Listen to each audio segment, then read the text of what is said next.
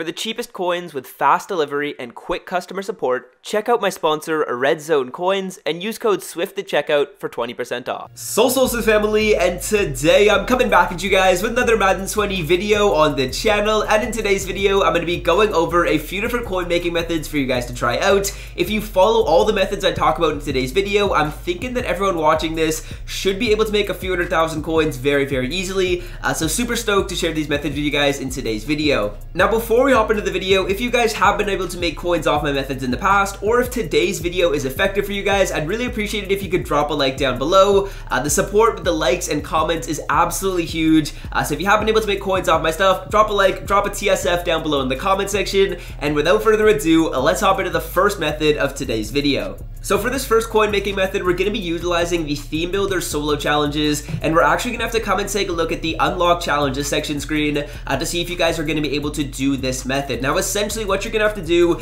is about 5 minutes worth of solo challenges or 5 to 10 minutes worth of solo challenges in order to make a 100,000 coins. So very, very lucrative, um, and let me explain how this method works. Firstly, I want to give a shout out to m underscore miles8 on Instagram for sending me this, and I also saw this on Quick to the Points YouTube channel, uh, so shout out to those two people for coming up with those methods. Now, let me show you guys essentially how this method is gonna work. There's kind of two ways you could do this. The first way is if you still have theme selector tokens left, you actually earn these tokens basically right at the start of the year, and I'm sure a lot of people just kept them in their item binder and didn't do anything with them. So if you're in that situation, I would recommend you put theme selector tokens in the Falcons, the Browns, the Steelers, and the 49ers unlock challenges screen, and essentially that's gonna unlock some specific solo challenges, which I will get into in a second, and they are very, very lucrative. Now, if you're like me and you already did end up using your theme selector tokens, you kind of just want to hope that you did either the Falcons, Browns, Steelers, or 49ers. I got lucky and I ended up doing the Browns earlier in the year, so I'm actually kind of set. I'll be able to do part of this method. As you can see, I didn't do the Falcons or the 49ers down here, um, but that's totally fine. I'm still going to be able to make coins. So essentially what you're going to do when you've either used up all your tokens or seen where you have tokens available is we're going to need to come into the solo challenges section and we're going to scroll down to the theme builders section of these solos. As you can see, um, it's all the way down at the bottom. It came out quite a long time ago. And for the Theme Builder Solo Challenges section, you're going to take a look at those teams uh, that I mentioned before. As you can see, I got kind of lucky and I ended up selecting the Browns earlier. So if you have not yet played these solo challenges, which I'm assuming most of you guys haven't, uh, these did take quite some time. Most of the people on my friends list hadn't played much of these, so I'm assuming most of you guys haven't. So yeah, assuming you haven't played these solo challenges, all you're going to need to do is play the first solo challenge on one star difficulty. And as you can see, when we get this first solo done, we're going to be able to get Myles Garrett's power up, which is very, very expensive. I'm going to go into the store here and I'm going to show you guys exactly how much each of these power ups are going to sell for. Um, but essentially, if you get the Browns one, you get Myles Garrett. If you do the Falcons one, you're going to get Alex Mack. Uh, for the Steelers, you're going to get TJ Watt. And then for the 49ers, you're going to be getting George Kittle. So let me go into the trade block here, or the auction house, sorry,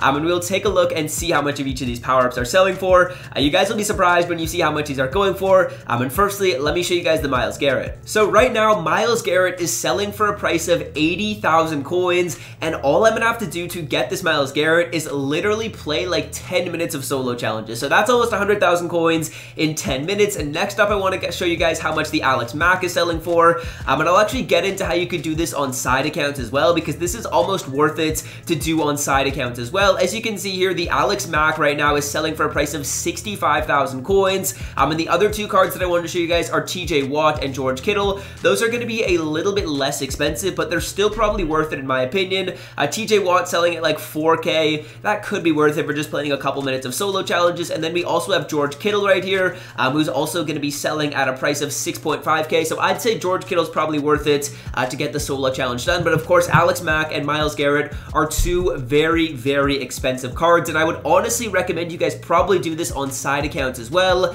Um, you could make like 150,000 coins by doing each of these solos and just putting your theme selector tokens into each of them.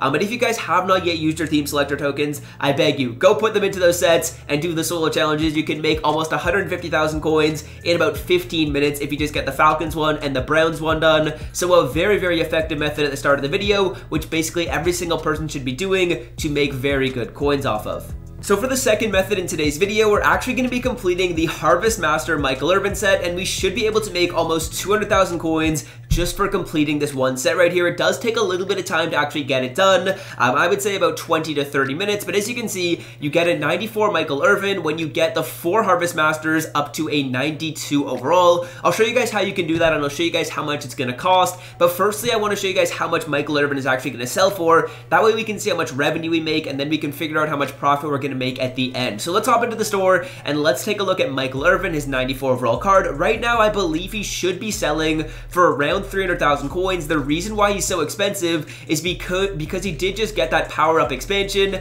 Uh, so we're going to go by Michael Irvin, and we're going to take a look at his Harvest Master. So yeah, I filtered it down to this Michael Irvin. As you can see, he's selling for around 275 right now, which is totally fine. You're still going to be able to make a really good profit off of this card. Now let's hop back into the sets, and let's see how we can actually get this card, what we need to do to put into the sets. So let's hop back into the sets, and let's talk about what we need to do to actually get the set done. As you guys can see, the first thing that you're going to need to do is you're going to need to buy all these lower overall turkey stuffer cards. Now, each of these is going to cost you around 2.5k, and you're going to need to buy all four of these right off the start. So buy the Tom Brady, buy the Odell Beckham Jr., you're also going to want to buy the Zach Ertz, and then the Quenton Nelson as well. All these are going to cost you on average, I would say 2.5k. Um, so that's going to be about 10k that we're going to have to invest uh, right at the start, because we're going to have to get each of these turkey stuffers up to a 92 overall by feeding them side dishes and main course collectibles. So once you have all the cards um, at their lowest overall version, you're to have to hop into the exchange sets and you're to have to start getting some of these side dishes and then main course collectibles. So essentially how it works is each card is to require each of the four side dishes and then they're also to require each of the four main dishes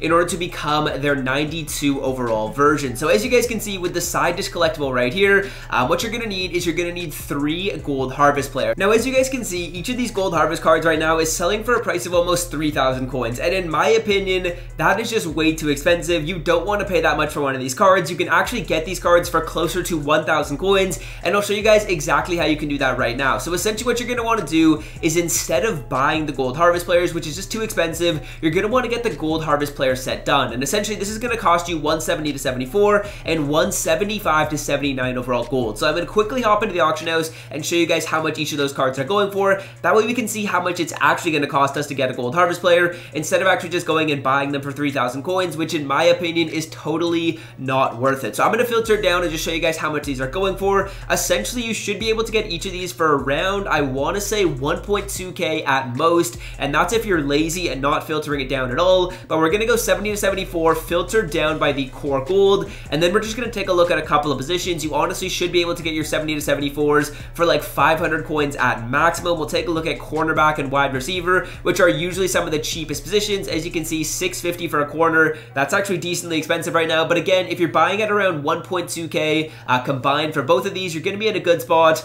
Um, and the 70 to 74s and 75 to 79s are basically selling for the same price. Um, as you can see, 850 for a 75 to 79. We'll also filter down by a couple of other positions because right now these golds are looking a little bit more expensive than usual. Here's a little cheaper. Yeah, you can get these golds uh, for like 500 coins. You can snipe them really, really easily. So on average, it's going to cost you around 1.2k in my opinion to build a gold harvest player. And as you can see, all you need is 75 to 79 and a 70 to 74. Once you get each of those cards, you just put them into the set and that's going to allow you to get your gold harvest player. Now I'm going to use that 1.2k as the number for how much we're spending on these cards instead of using the 3,000 coins because um, that's one key step that you guys are going to have to follow in order to make the most amount of profit by doing this method. Okay, so now that we know we're spending 1.2k on average for each of these gold harvest players, um, we're going to have to calculate how much it's going to cost in order to feed all of our players these side dish collectibles. So right off the bat, we know 1.2k times 3 is 3.6 thousand coins, and that's going to be how much it's going to cost us to get this set done one time. Now, as you guys know, you're going to have to give each player all four of these side dish collectibles. So right off the bat, let's say we're just upgrading our Tom Brady. Um, we're going to have to spend 3.6k times 4 because we have to get all four of these, and that's going to end us costing us 14.4 thousand coins in order to get one player from a 77 to an 84 overall. Now we have to do that with all four of our cards, so we're just going to multiply that by 4, and that's going to give us an answer of around 57,000 coins in order to get all three of our players, or all four of our players, sorry, um, from their 77 overall version to their 84 overall version. Next up, we're going to have to do this main course collectible, and we're going to do some very, very similar math uh, for this part of it. So as you guys can see, this main course collectible set is a little bit different than the side dish. It's going to require an 86 to 89 overall harvest card instead of 377 to 79 overall harvest player. So for this set right here, essentially what it's going to cost you is, let's say on average, you buy these cards at 5,000 coins. I know you can get them basically all for cheaper, but for the sake of the video, let's say you buy them at 5k because these prices could go up um, after I make this video. So you buy these cards at 5k and you're still getting your other gold harvest players at around 1.2 thousand coins on average. Now if we do the math for that, that's going to end up being around 7,400 coins in order to get one main course collectible. Now we're going to do the exact same calculations as we just did. That 7.4 thousand coins is getting multiplied by 4 because we need to get all four of the collectibles, right? So that's going to end up being around 29.6 thousand coins and that's going to be what what's needed to get one of our 84s all the way up to their 92 overall version, and once they're at their 92 overall version, they can be put into the set. But we have to do that with the three other cards as well, uh, so when we do the math for that, then that ends up being around 118,000 coins in order to get all of our cards from their 84 overall version to their 92 overall version. So now what we're going to do is we're going to add up the two numbers. We're going to add up the 57 and we're going to add up the 118 to see our total cost in order to get our Harvest Master player. So that's going to give us a total number of 175,000 coins in order to get 94 overall Michael Irvin, his power up, and all of the knots that you just got from this. So let's take a look at how much value we can get from all that, because we know we just spent 175,000 coins to get this done. So as you guys know, the Irvin is going to sell for around 275. So just off the bat right there, that is going to be a profit of 100,000 coins. I know after tax, it'll probably be a little bit less than that, um, but once you also add up the Michael Irvin power up, you should be profiting, I would say around 90,000 coins uh, just in coin value. But you're also going to get those four nats back, uh, which you can quick sell for trading. All those nats are going to quick sell for around 2,500 trading. So that means when you quick sell all four of them, you should be getting an additional 10,000 trading points. Now with that 10,000 trading, there's a couple of different things you could do. If you want to, you could rip your alternate uniform offensive playbooks. Um, I would probably recommend you do that. It's only going to be 10,000 trading. If you guys don't know how this method works, you basically just buy this pack right here and then quick sell any card that you get from it. Uh, you can just pick the first playbook and quick sell it right there. So let's say you end up doing that. Let's see how much coins you're additionally going to make um, if you use that 10,000 trading to do the alternate uniform playbook method. So if you guys do the alternate offensive playbook fantasy pack method, you should be able to make an additional 33,000 coins um, off of that trading. So that means you should be profiting off this method around 125,000 coins. So really effective. It is going to be a little bit of a grind. It'll probably take you around 20 minutes, I want to say, but 20 minutes for 125k, that's a pretty good deal to me. Plus you spend those additional 10 minutes at the start of the video getting the other solo challenges done. At this point, you should be up almost 250,000 coins before we even get into the final method here. So for this final method, we're going to be using the NFL playoff set. I want to give a huge shout out to my man Jackson Throws on Twitter for sending me this. Again, if you guys have any other methods, be sure to send them to me on Instagram or Twitter, and you could be featured in a video. So here's how this method's gonna work. Essentially what we're gonna do is we're gonna complete three of these sets um, for any of these heroes. I'll go over which ones are the cheapest in just a second,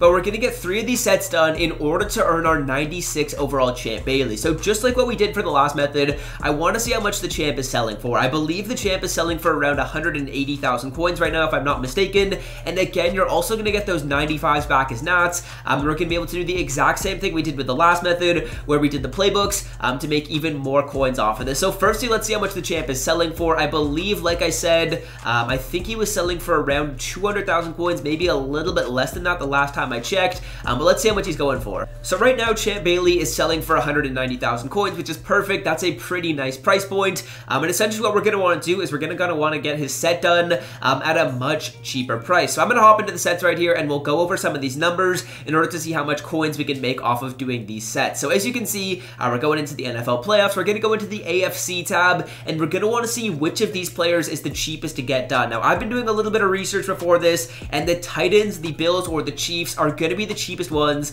um, in order for you guys to get a 95, because you can put in any of the 95s into this set right here in order to get the Champ Bailey card. So, so let's take a look at the Buffalo Bill set right here for Tremaine Edmunds. Josh Allen right now looks like he's going to be going for a price of around 15,000 coins. Uh, we also are going to have our Devin Singletary right here. We're going to have to put in all these cards in order to get Tremaine, and he's selling for around 10k, so that's about 26,000 coins right now. Uh, Dion Dawkins is going to be selling for a price of around 5k, uh, so let's say that goes up to around 30k. We also have to get Matt Milano, uh, who right now is going for around 25k, so that's a pretty expensive one. I'm not sure why he's so pricey right now, um, but we also have to get Jon Feliciano, who right now is going for 2k, and then we also are going to have to snag our Levi Wallace, who right now is selling for a price of 450 coins. Um, that's on bid. I'm assuming he's going to sell for around 2,000 coins. So after all that math, this set should be costing you around 55,000 coins to get it done. Um, you can also take a look at some of the other ones, like this Titans one could be a little cheaper. I would recommend you end up doing the numbers on these,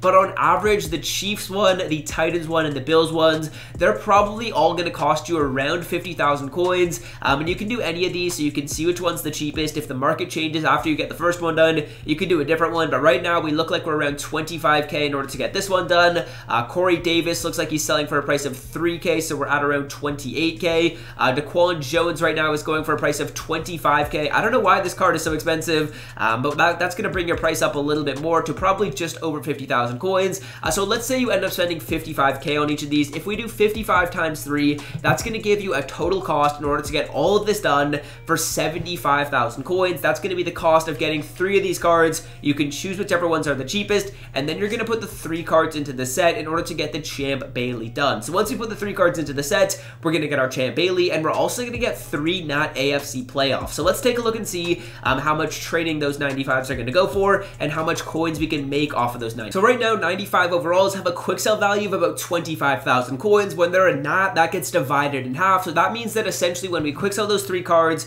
we should be able to make around 37,000 trading. Now with that 37,000 trading, there's a little bit of stuff you can do with it. Um, if you want to, with your 37k training, you could rip it all uh, using these alternate offensive playbooks. You should be able to make around 100,000 coins doing that. Um, if you don't want to do that, you could do Theme Diamond 2 set pieces. You could do 85 plus Theme Builders player. Essentially, all this is free training that you can use with whatever. But let's say you end up doing this and you make an additional 100,000 coins off of that. Um, then you're going to be sitting in a really good spot because, again, it costed us 175,000 coins uh, to get the set done. We can sell the Champ Bailey for 190k. So that's going to just break even with the 175 after tax. But you got that free 30,000 trading, which you can use on everything. You can grind the alternate playbook method and you can get 100k like that. Um, if you don't want to do that, that takes a little bit too long for you, um, you can come in here and open up some of these other packs with trading. It's going to be totally up to you, but you should be able to make between, I would say, like 40,000 coins or 30,000 coins if you just rip these Theme Diamond 2 set pieces